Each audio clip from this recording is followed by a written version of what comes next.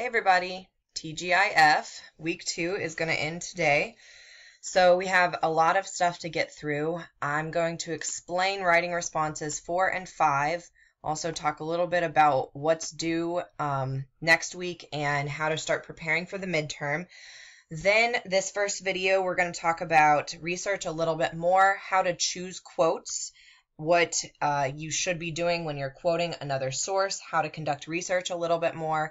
And the next video is going to be the difference between summarizing and quoting and how to cite those things in your paper as an in-text citation and also in your works cited MLA list. Okay, so for this video, some of you are already asking about Friday's assignment, uh, the one due today, 4 p.m.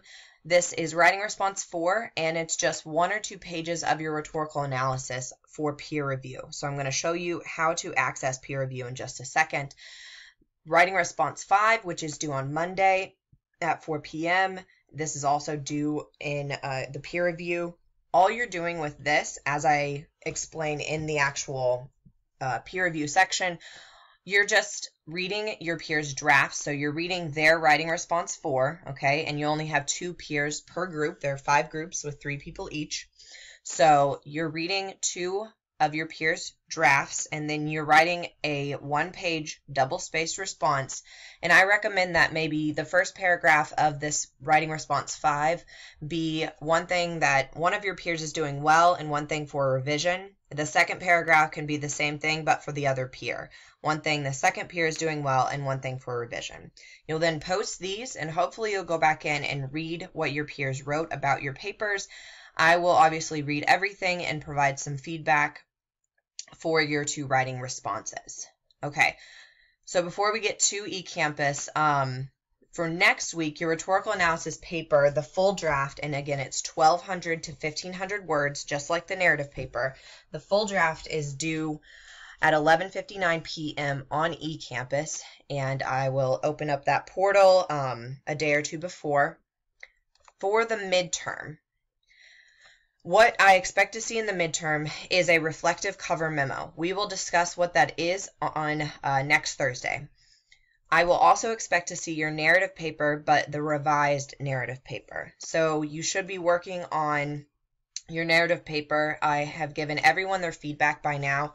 You do have two full days to uh, revise. So if you want to save your narrative for those two days, I have built them into the syllabus already.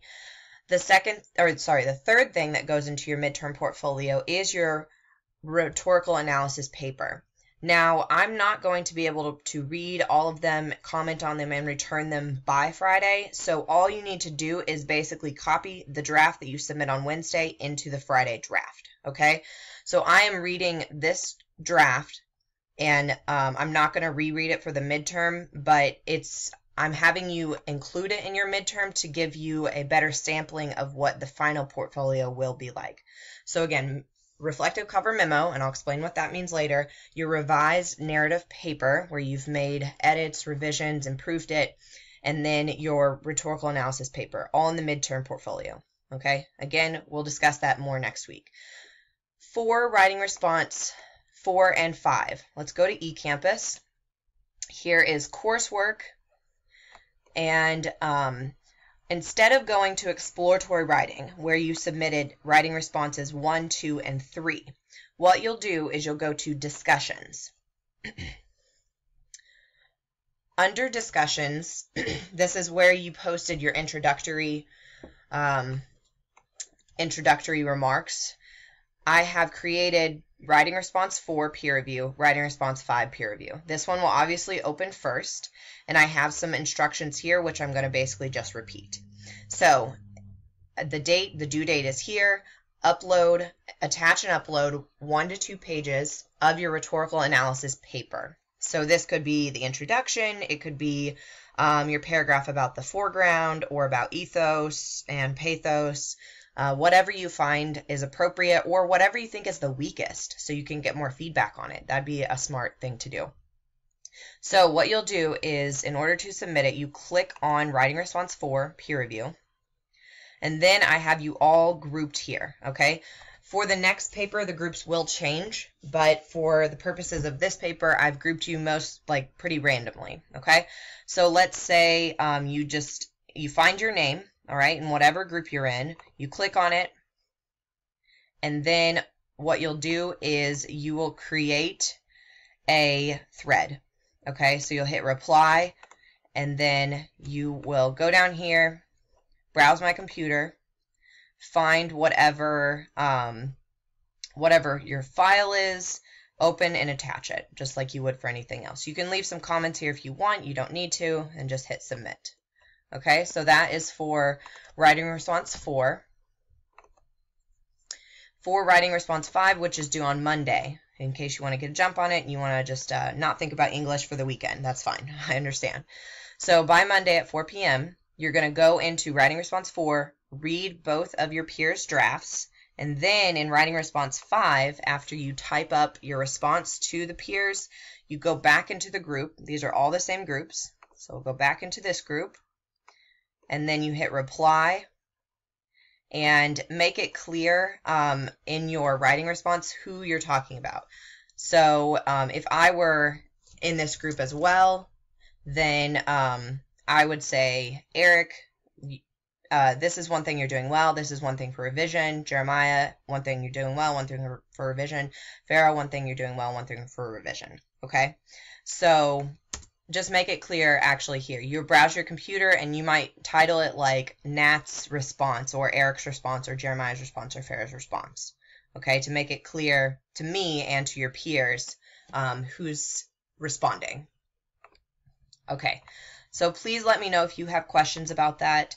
Um, we will do two peer reviews and you will include some of the peer review suggestions in your final portfolio so it's not just an activity in futility.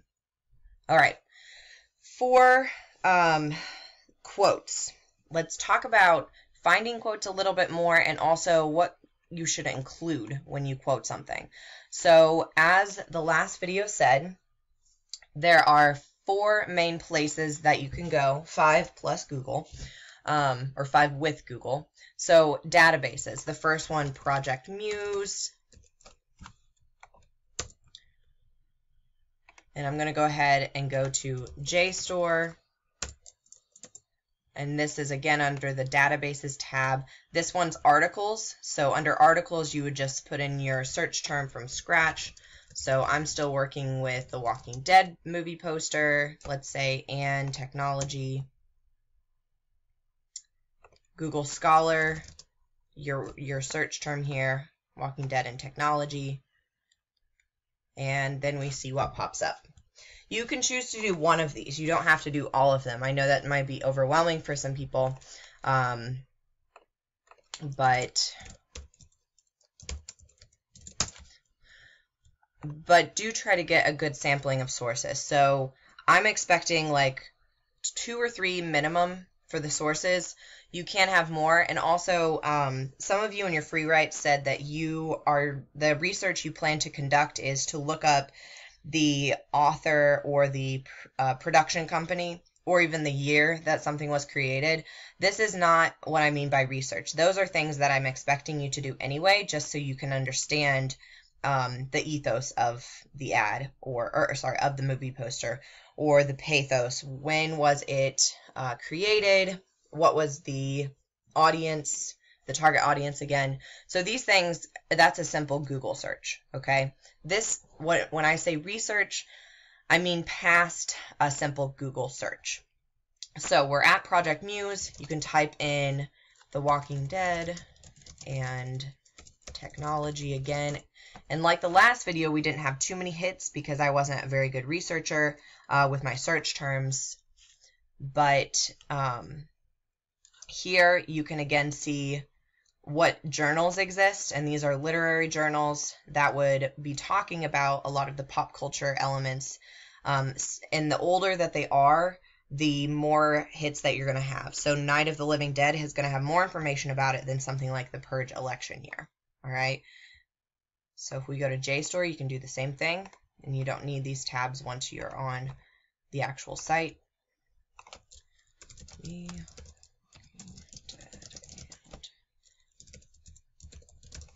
technology. Okay. So this article came up yesterday. We can go ahead and click it again and then I said again, download PDF because you can get the full text and you don't have to click through each individual um, page. That gets pretty tedious. All right. This one looks pretty good, peer reviewed. It has The Walking Dead, the, the actual title in italics. Okay, so let's see if we have access to this. View full text. Sometimes the library doesn't pay certain journals, so we don't have access to them, but we do have a ton of them. Let's download the PDF. All right, we have access here. Okay, and there's an abstract, even better, so it saves me some time. So, uh, this is a book, but I it looks pretty promising, so I click on it, and I have searched already. It is already searched for me. One good trick with um, searching a, an entire book or an entire article is if you want a phrase that's actually supposed to be clumped together like The Walking Dead, then you just put it in quotation marks and it will clump that phrase together for you. So here it's highlighted. If you're under Google book search, it's highlighted where this term is used, and you can kind of read around the context to see if it's something that you'd be interested in researching further. Uh, because I have not bought this book, it doesn't provide all of the pages, but it does have full chapters that you can look through. Okay, so these again are the main ways that I suggest you research. Let's go ahead and look at this article. So if I want to write um, something about technology in The Walking Dead because I'm commenting on the city versus nature as if you remember the poster that I would be rhetorically analyzing, we commented on how the city is presented versus the natural world. So the deterioration, but also this kind of uh, catch 22 of, or this contradiction of the sunshine and then the kind of grimness of the city. So it looks promising, but um, nature is like fleeing from it. Okay, so let's go ahead and think about technology in those terms. So I would breeze through this abstract and then hopefully it's something I'm interested in. But let's go ahead and um, look through the article. This is 16 pages. I'm already on page three, so that's good. You don't have to read through tons and tons of articles. But th- so the reason uh, you won't have to do that is because you are good researchers. And by that means you've read the abstract, you've read the title. I recommend then you read the introduction and the conclusion because the conclusion paragraph is what actually um, contains the summary of the whole paper. And so you can get a better sense of what the paper has already discussed without actually reading the whole thing. So it's just kind of a way that academics uh, almost cheat with the research. Okay, so if we breeze through this, it's talking about games Dead Rising. I don't know if any of you have played that. Um, it mentions Romero. That's good to know because we're talking about zombies. And also, Romero is an option for your movie poster.